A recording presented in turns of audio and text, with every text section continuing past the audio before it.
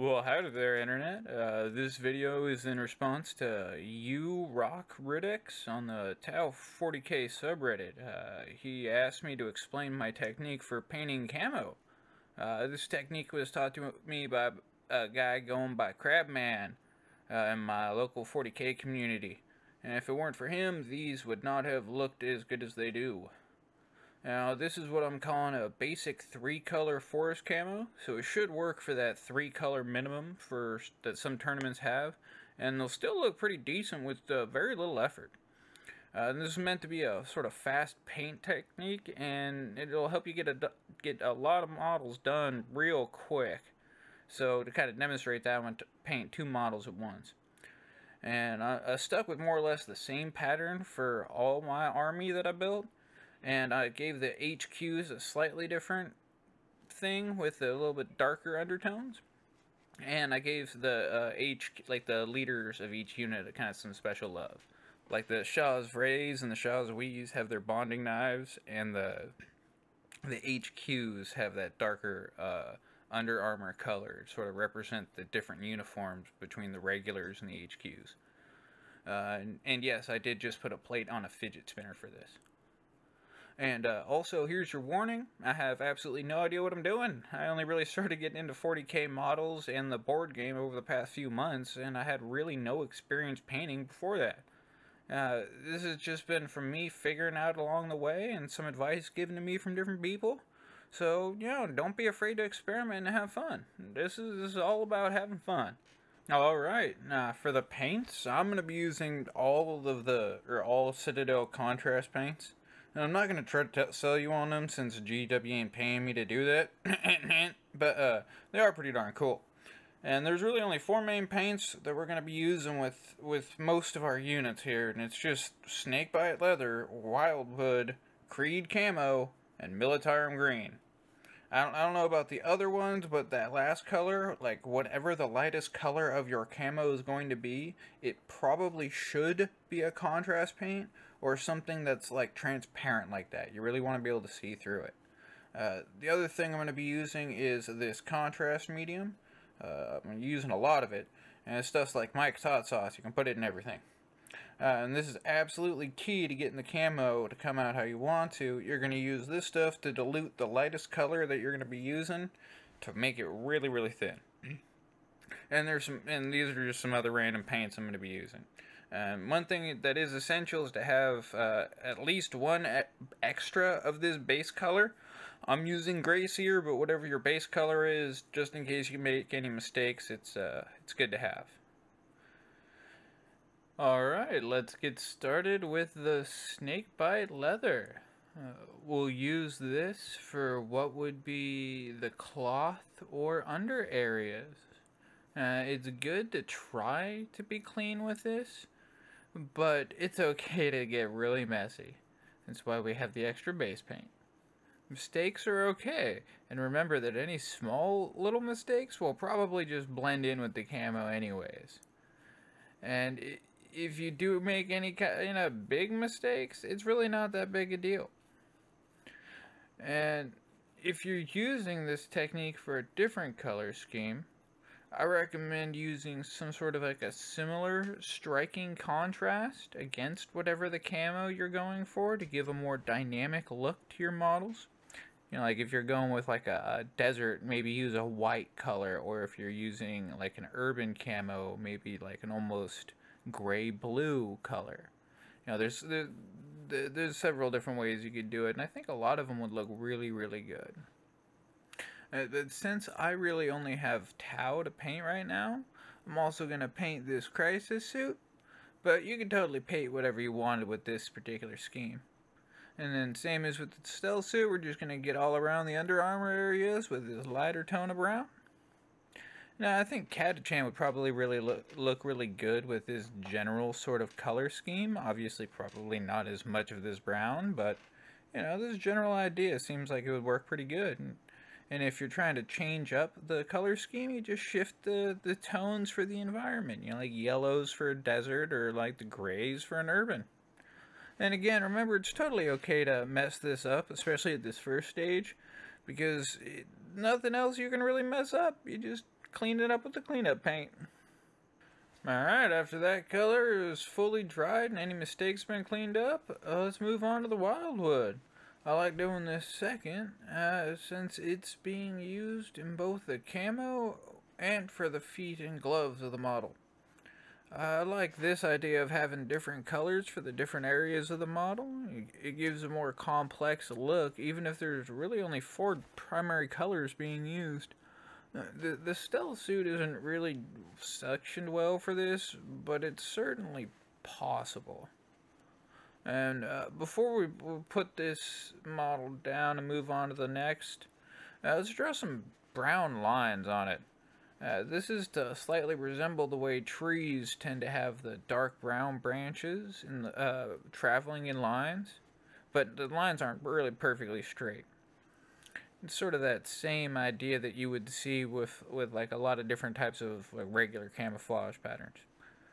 And uh, if we're to move on to the stealth suit, we're going to kind of do the same thing, and the distinction between the legs and the feet is really apparent with this model. And you can see why I think it's probably a good idea to have those two distinct yet similar colors sort of patterned together like that.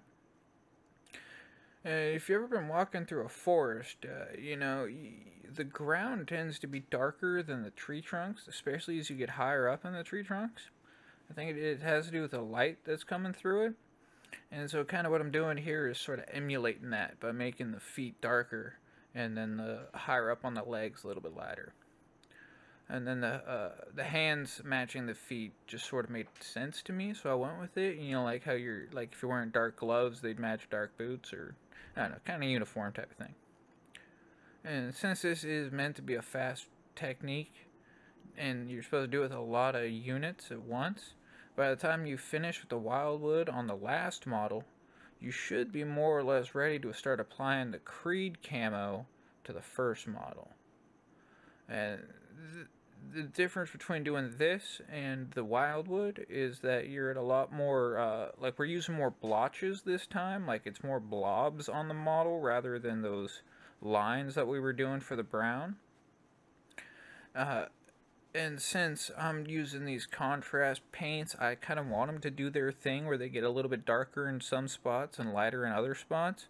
But I don't want it to be too dynamic because that kind of like throws off the camouflage and it makes it a little bit too busy. And you won't even really notice that much of a difference too much. And the, the key in this is to kind of be as minimalist as possible because the more of the, these darker colors you're going to use or add onto the model, the darker the pattern will be overall. And if you're trying to go for a lighter pattern, then you want less of those colors. Now, you, you could, in theory, let's say you want to do more of like a tiger stripe pattern. Oh, you could you could easily just follow, like, you could just do kind of thicker brown lines and then kind of thicker green lines and then just the other background color just sort of over those to make it a little bit easier. But I, I kind of like it like this a little bit better. And it, it, it is pretty easy to get carried away, and if you start adding too much color on the model, it makes it look kind of busy. You know, like if you, you started using like four or five or six different colors in your camo, it started looking pretty busy pretty quick. Like if you were using it, if you're painting larger models, it might look better, but with these smaller models, it won't really look good with that many colors going on at once and a whole bunch of them all at once. And if you're overthinking it, like I'm doing, you're kind of just wasting a whole bunch of time since this is meant to be doing a whole bunch of models all at once. Now that we've got all the dark colors done, it's time for the hard part. We're going to be mixing our Militarum green with the contrast medium. And you definitely want to give them both a really good shake because the Militarum green tends to have some uh, white that'll settle out at the bottom, but you want this to be a really smooth color. And you, you want to first have your easel out, like some place where you can be mixing a pretty fair amount of paint with. Uh, one thing to remember whenever you're mixing paint is to, it absolutely sucks to run out of the mixed paint. Mix way more than you think you'll need. Trust me, I know it sounds wasteful, but I literally used all of what I mixed and could have taken some more. And how I do this is I basically just try to get a pretty good fat glob of the paint onto the uh, uh, onto the easel over there. And while I'm doing that, it's kind of hard to measure the exact amount of paint, which is why I don't really give you an exact formula with this. But I used about eight, seven or eight good sized globs of the green, and then I cleaned off the brush really, really well, because you do not want cross contamination between your contrast color or your green and your transfer medium or your transition medium. This medium is way too useful to get ruined with one specific color. And what I'm trying to do is kind of that same idea of just splashing the color along the edge, trying not to let it mix in too much, but as you can probably see, the color just mixes a little bit. And you just, you try to gotta be careful with it, and if as little as you can get on the brush. I probably used a little bit too little of the medium on this, and it, I probably could have thinned it down a little bit more. But this is pretty much how you do it. You just mix it together and you get it to about 50% of the medium, 50% of the color. Like when I did about 20 or 30 troops at once, I had that thing right there complete almost completely full of the color and I still ran out before I was done. And how you know when it looks about right, you want it to be slightly lighter than that. Like you see how it's pulling along the side on that last stroke, how it's almost see-through? That's the color you really want it to be. Because when you're doing this, you're going to end up applying a couple different coats to it. And while you're doing that, couple different coats, like you're really only applying one, but as you apply it, you kind of go over the same spot a couple times. And as you can see when I'm, I'm kind of testing it on that stealth suit, it looks pretty light. So I figured that this would end up looking pretty much how I wanted it to, so I took a pretty good fat glob of it and just started smearing it across like it was a wash. I think that's the best way to put it or describe it is it's a wash. Well, anyways, as I was going through and just washing through all of these, I just went and did all of it.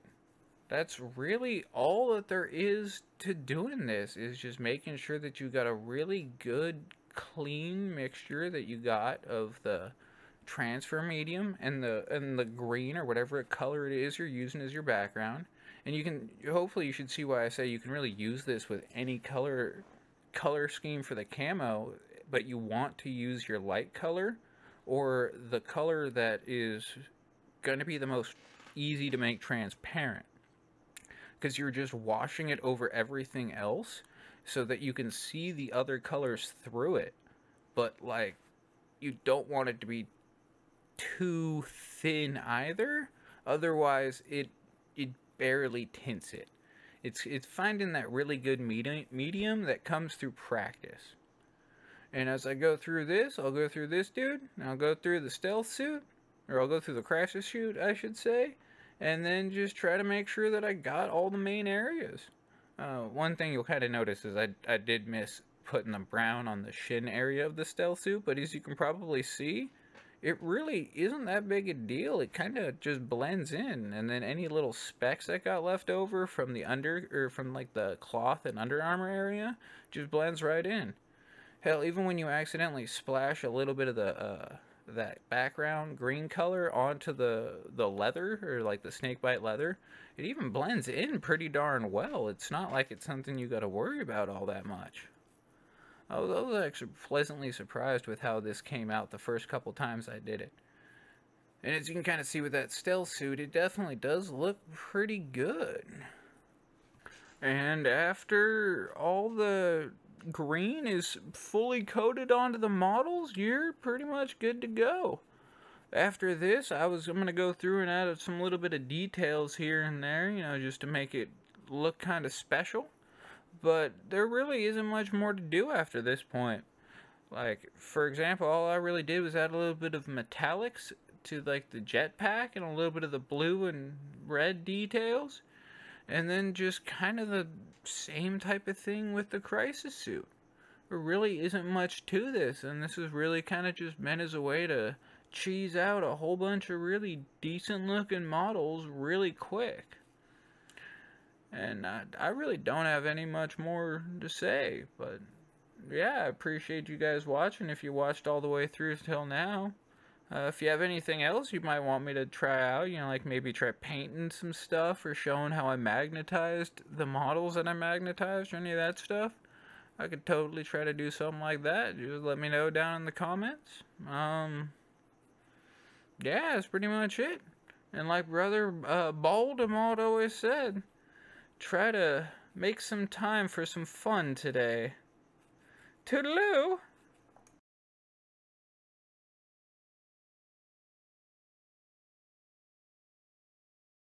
Condescending. That's very out of character. And you're being illogical. That's even more out of character. No, no, no. You're right. Let us make use of a conventional stratagem involving copious amounts of invisibility with minimal effort on our part. Just like the Tau would. Fuck Snake Oh, shit. We're gonna take all your artifacts and wear them out! We're gonna take ancient thing! I'll stop this shit, I swear to God!